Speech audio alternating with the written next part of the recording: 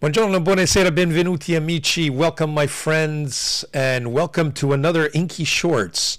And in this episode, I will be reviewing four inks from the Van Dieman's Night Collection. I've gathered uh, most of them, uh, and we're going to be doing them in parts. We'll take a look at these first four, and in subsequent episodes, I will be reviewing the others. So let's start.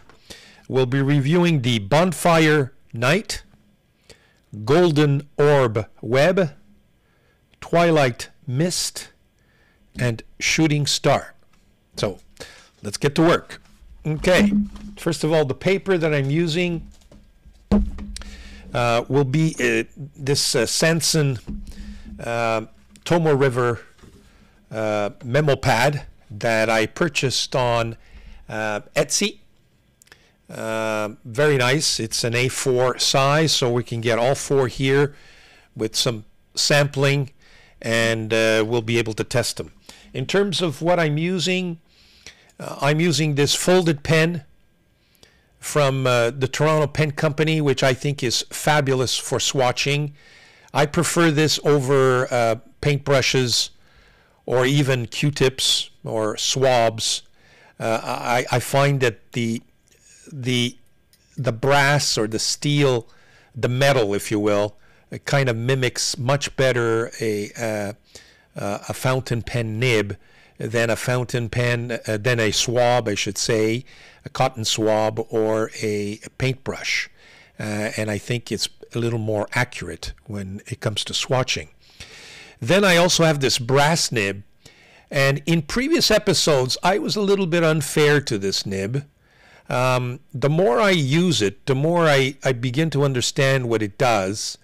And unlike just an ordinary nib that you, you know, a dip, dipping pen, if you will, that you have to constantly dip into the ink, this one manages to keep quite a bit of ink in there uh, and you know what? I'm getting used to it more and more. And I got to tell you, they are expensive. I think I paid this around eighty dollars, um, nib and and the holder as well. And originally I thought, wow, uh, I'm not sure I really like this. But the more I use it, the more I understand how it works. The more I think uh, I'm happy with the purchase. So uh, sorry about those un- early unfair comments, if you will. I th- I think uh, I've got to take those back. So. Let's get going. First thing, Bonfire Night. Let's see what this does.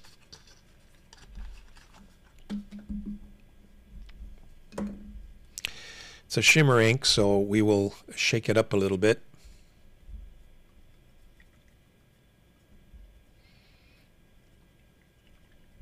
There we go.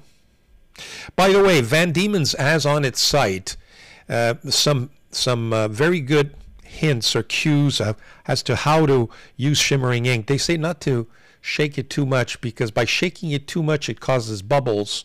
And if you're going to be inking a pen with with with liquid that has bubbles, that it's it's not a, a, a very nice combination. But I'm not really inking a pen here. I'm just swatching, so um, I'm going to give it a nice shake, if you will. Go.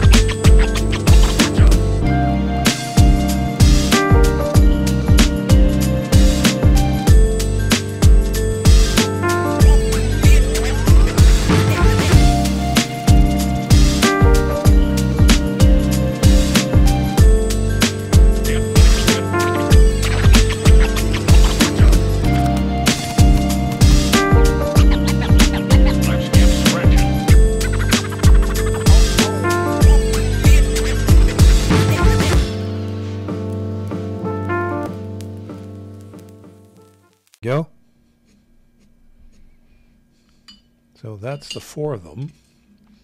Let me just back my camera out and just put them all four in view. I'm going to close this down. We're going to just uh, take a little break, get all the ink to, to dry nicely, and then we'll take a closer look at each. So we're back now, and the um, the inks have all dried up, so we can see the shimmer. Uh, this shooting star here at the bottom uh, is still a little wet, but look at this bonfire night. Very nice. It's an orangey red um, with some shimmer in it, um, as you could see. Very nice shimmer.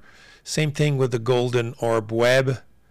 You get that yellow gold the Twilight Mist, purplish. It's still a little wet, but my favorite is the Shooting Star. I've been waiting almost uh, indefinitely for that uh, big blob there to dry up, but that's going to take a little while. I just put a little bit too much. But as you can see, the ones that I use the fountain, the folding pens on, have all dried up fairly, fairly quickly. You know, it's the blobs that take a little, little bit longer. So there you have it. Just four very, very nice inks from Van Dieman's. Hope this gives you an, an idea. This is part one of that uh, particular collection, which is the Night collection. And uh, we will review part two, another three inks, and keep going until the entire collection has been reviewed for you. I hope you enjoyed it. Have a great day, and don't forget, fountain pen. No, it's actually fountain pen ink therapy for all. Thank you.